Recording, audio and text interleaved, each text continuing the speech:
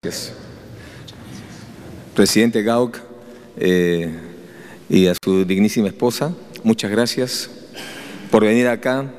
Luego de 50 años, nuevamente recibimos a, tan altísimas autoridades de un país como Alemania. Eh, con el presidente hemos tocado una serie de, temas eh, que ya los ha mencionado él. Y también hemos tratado de mostrar lo que tenemos.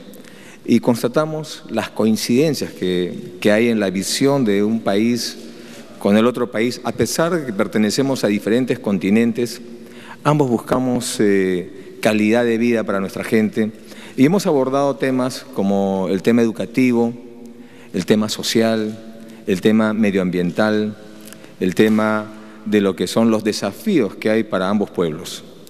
En el, tema educativo, creo que estamos construyendo una política de Estado, un camino irreversible en lo que es una nueva visión de desarrollo del país, en la cual estamos atendiendo más y con mejor calidad y, y, precisión lo que es la educación a través de los programas de becas, a través de lo que es la recuperación de la jornada escolar, la mejora de la infraestructura educativa, a través de lo que es la enseñanza de idiomas y que hoy día nos permiten mostrar ah, dentro del Sistema Nacional de Becas nueve muchachos que van a ir a cambiar su futuro y contribuir a la mejora del futuro del país a través de estudios superiores en Alemania, en universidades de prestigio.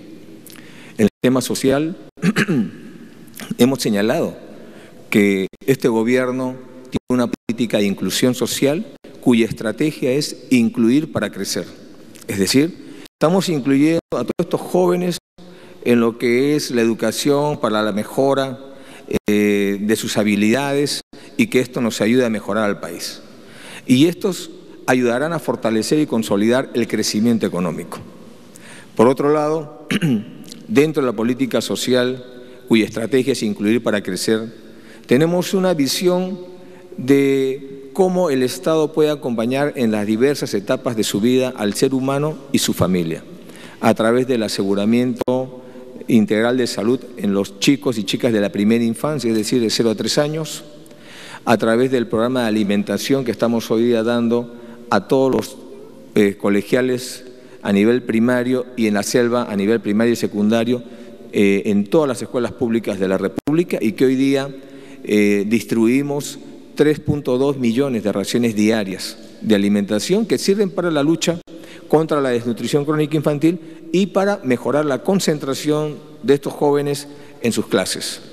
Iniciamos el año escolar con un examen médico, de tal manera que todos los chicos que van a estudiar en el colegio tengan una historia clínica y estamos detectando problemas dentales, problemas de vista y resolviéndole sus problemas.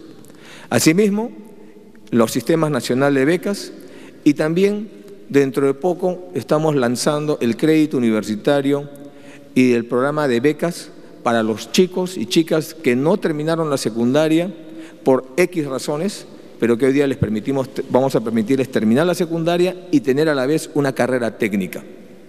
Además de esto, estamos creando y fortaleciendo y expandiendo programas de trabajo comunitario como Trabaja Perú. Y también, ¿por qué no decirlo? Trabajamos lo que es la pensión 65, que es una pensión no contributiva para adultos mayores de 65 años en pobreza y pobreza extrema. Eso adicional a otros programas como el Fondo de Inclusión Social Energético, etcétera.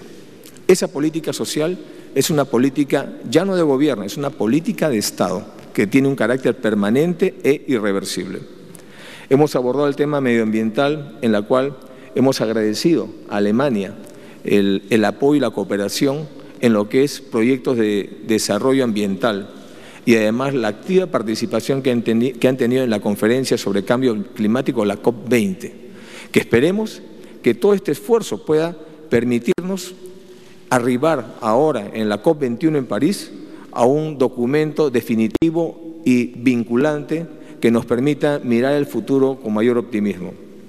He dicho también, sobre el Fondo Verde que los países del primer mundo están aportando, que el Perú, como los países sudamericanos, ya estamos aportando a través de un costo lo que es los efectos nocivos del cambio climático, a través de la pérdida de cosechas, a través de la variación del, almanaque o el calendario agrícola, eh, a través de las inundaciones, el fenómeno del niño cada día más eh, duro que viene y golpea al Perú.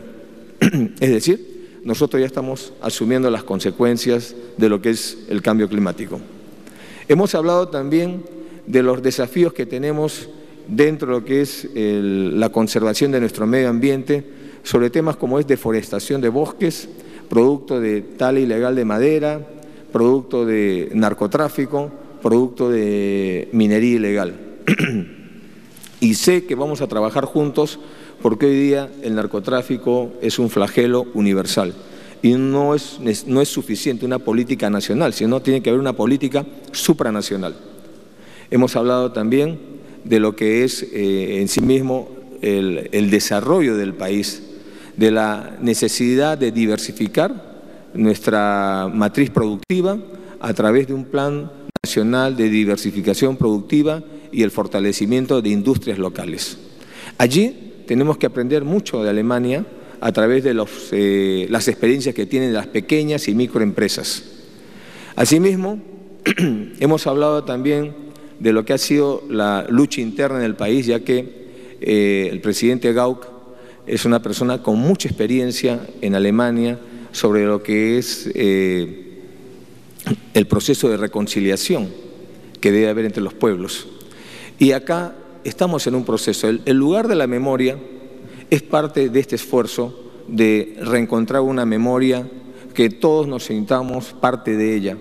Y en ese sentido agradecemos a Alemania el esfuerzo y la cooperación que ha permitido hoy día eh, concluir la infraestructura del, lugar de la memoria.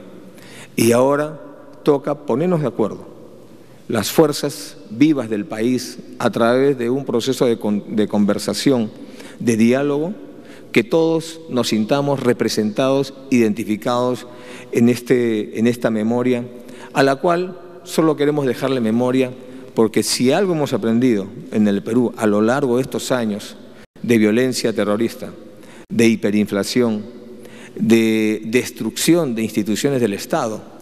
Hemos aprendido lo que no, no queremos volver a repetir y buscamos nuestro camino. Por eso estamos construyendo el desarrollo en paz con una política macroeconómica estable, con políticas sociales y educativas estables y permanentes. Y también queremos consolidar nuevas políticas, como es la de la industrialización, como es la del fortalecimiento de las pequeñas y microempresas. Creo que en esto, presidente, eh, hay una gran experiencia que podemos eh, compartir tanto Alemania como el Perú. Y si bien es cierto que han pasado 50 años, se han demorado un poco eh, en venir nuevamente al Perú, más vale tarde que nunca y por eso los hemos recibido con el himno de su país, para que sepan que aquí los queremos, los estimamos y creemos que podemos hermanar las relaciones de Alemania y el Perú. Muchas gracias, presidente.